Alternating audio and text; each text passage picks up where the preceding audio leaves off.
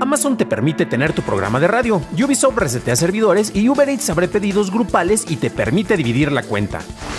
Estas son las noticias de Tecnología Express con la información más importante de la semana que termina en este 11 de marzo de 2022.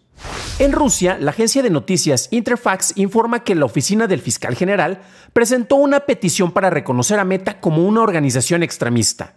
Si bien el uso de Facebook está bloqueado en el país, esta designación criminalizaría efectivamente las operaciones de Meta en el lugar. Esto ocurre después de que la compañía de Zuckerberg confirmara que cambió temporalmente los estándares comunitarios de la aplicación para hacer concesiones para formas de expresión política que normalmente violarían sus reglas, como los discursos de violencia. Esto pasa en Ucrania, Rusia, Polonia, Letonia, Lituania, Estonia, Eslovaquia, Hungría y Rumania. El CEO de DuckDuckGo, Gabriel Weinberg, dijo que el motor de búsqueda bajará la clasificación de los sitios que difunden información falsa rusa, aunque no dio detalles sobre qué sitios o plataformas se verían afectadas. La compañía pausó sus relaciones con el motor de búsqueda ruso Yandex. Mientras que el gobierno ruso bloqueó Twitter a inicios de este mes, el experto en seguridad cibernética y diseñador de Enterprise Onion Toolkit, Alec Muffet, publicó ayer que este es posiblemente el tweet más importante y esperado que he escrito. En nombre de Twitter, estoy encantado de anunciar su nuevo servidor asociado al Tor Project. Los usuarios rusos ahora podrán usar los servicios de anonimación de Tor para acceder a redes sociales en su país. La firma de ciberseguridad Mandiant confirmó que llegó a un acuerdo para ser adquirido por Google en una transacción en efectivo valorada en 5.400 millones de dólares. Una vez concretada la adquisición, Mandiant formará parte de los servicios de Google Cloud. Por su parte, el CEO de esta división de Alphabet dijo que esperan dar la bienvenida a Mandiant a Google Cloud para mejorar aún más nuestra suite de operaciones de seguridad y servicios de asesoría. La compañía estadounidense de ciberseguridad se formó en 2004 y espera que el acuerdo sea finalizado para finales de este año, tras obtener las aprobaciones regulatorias y de los accionistas.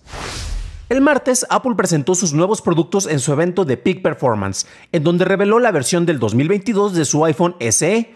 Como indicaban los rumores, mantenía su tamaño, el cual es más pequeño al compararlo con los otros iPhones. Incorpora el System on a Chip A15 y antena 5G, así como una cámara de 12 megapíxeles en la parte posterior, aunque obtiene mejoras de cámaras basadas en software gracias a su nuevo procesador. Incluye Deep Fusion y HD4, opciones presentes en el iPhone 13 y las cuales sirven para capturar imágenes con alto contraste y aplicando reducción de ruido. Gracias al nuevo chip, la nueva versión del SE promete un rendimiento de hasta 10 horas de transmisión de video y 50 horas de reproducción de audio. Mantiene una clasificación IP67 de resistencia al agua, incluye Touch ID y admite carga inalámbrica, pero no cuenta con el MagSafe.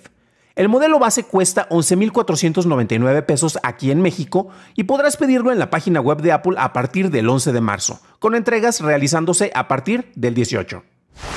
Apple también presentó su Mac Studio. Es un sistema de escritorio con el nuevo chip M1 Max de Apple o el M1 Ultra, el cual cuenta con un CPU de 20 núcleos, un GPU de 48 núcleos y motor neuronal de 32 núcleos. En la parte frontal cuenta con dos puertos Thunderbolt 4 y una ranura para tarjetas SDXC. En la parte posterior tiene cuatro puertos Thunderbolt, dos puertos USB tipo A, un puerto HDMI, una entrada de red de 10 GB por segundo y un conector para audífonos de 3.5 milímetros. Todo empaquetado en una forma de caja similar a la Mac Mini, aunque más alta y con la promesa de funcionar de manera silenciosa incluso cuando los procesadores trabajen a su máxima capacidad. Su costo empieza en los 51.999 pesos si lleva el procesador M1 Max y en 106.999 si usa el M1 Ultra se empezará a distribuir a partir del 18 de marzo. Este CPU es acompañado por el nuevo Studio Display, que es una pantalla de 5K de 27 pulgadas con 600 nits de brillo, una cámara ultra ancha de 12 megapíxeles, funciones con True Tone de macOS para mayor fidelidad de color, una carcasa de aluminio y soporte. Su costo es de 39.999 pesos aquí en México y cuenta con varias opciones de soporte. Igual que el resto de los productos anunciados por Apple, se empezarán a distribuir a partir del 18 de marzo. En Estados Unidos, Amazon lanzó una nueva versión beta de su aplicación AM para iOS. Esta le permite a los usuarios crear programas de radio en vivo, recibir llamadas, actuar como DJs y reproducir música de la biblioteca de Amazon. La empresa además anunció que entre sus próximos programas estarán Queen Radio de Nicki Minaj, así como el contenido de Lindsay Sterling y Pusha T, entre otros. Uber Eats presentó la opción de pedidos grupales y división de cuenta, similar a la opción de dividir tarifa en el servicio de transporte. Todos los miembros de un grupo pueden realizar y pagar sus propios pedidos. Los anfitriones pueden invitar a los participantes a pedir algo en un restaurante y podrán dividir la cuenta o pagar el total. Se liberaron parches de seguridad para una falla en la escalada de privilegios locales en el kernel de Linux conocido como Dirty Pipe. El investigador de seguridad Max Kellerman encontró e informó sobre esta falla en febrero. Esta apareció por primera vez en la versión 5.8 del kernel y se corrigió a partir de las versiones 5.16.11, 5.15.25 y 5.10.102. La mayoría de las distribuciones han implementado el parche excepto Android. Muchos teléfonos con este sistema todavía ejecutan un kernel que es tan viejo que no es vulnerable a esta falla. Sin embargo, teléfonos como el Pixel 6 o el Galaxy S22 de Samsung corren riesgos ante este problema, la cual puede ser explotada a través de una aplicación maliciosa o en conjunto con otra vulnerabilidad que permita la ejecución limitada de código. TikTok anunció una nueva función llamada Sound On, la cual le permite a los creadores de música el subir sus canciones directamente y recibir regalías por el uso de sus obras, lo cual se administrará a través de una plataforma enfocada en los artistas. TikTok le pagará a los músicos el 100% de las regalías durante el primer año y a partir del segundo se dividirá en proporciones de 90 a 10. SoundOn ha estado en versión beta desde el año pasado, pero ya está disponible para todos los creadores. Si usas Twitter en iOS, habrás notado un cambio en la interfaz de usuario, la cual le permite fijar una pestaña en el feed con los tweets más recientes ordenados cronológicamente en la parte superior de la aplicación. Una vez fijados, los usuarios pueden deslizar entre esta opción y el feed de inicio que presenta un orden algorítmico en lugar del orden cronológico. Este cambio llegará pronto a Android, así como a la versión web. Si eres usuario de Tinder, ahora podrás verificar antecedentes penales en la aplicación a través de su centro de seguridad. Se contará con el apoyo de la organización sin fines de lucro Garbo con dos verificaciones de antecedentes gratuitas para cada usuario durante las primeras 500.000 búsquedas. Después de eso, Garbo te cobrará 2 dólares con 50 centavos por cada una. La organización también lanzó un servicio independiente de verificación de antecedentes en los Estados Unidos con ese mismo precio.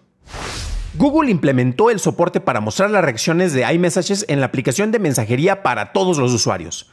Previamente las reacciones aparecían como un mensaje separado en donde en lugar de mostrar la reacción, por ejemplo, de pulgares arriba, recibías un mensaje que decía alguien le ha dado pulgares arriba a tu mensaje.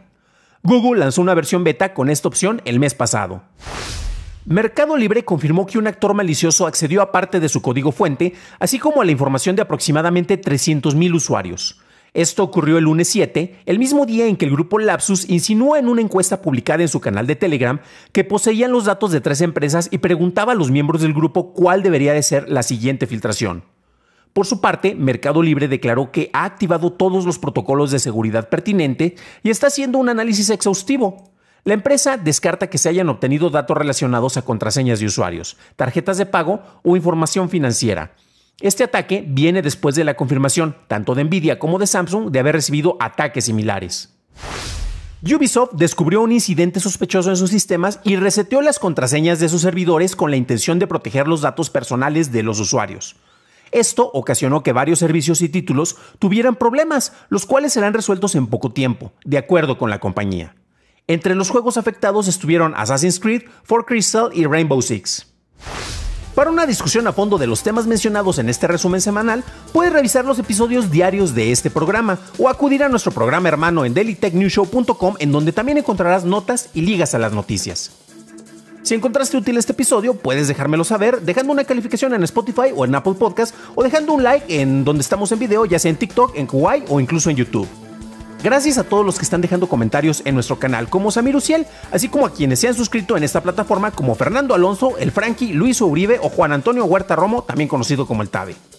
Gracias por tu atención y estaremos escuchándonos en el próximo programa.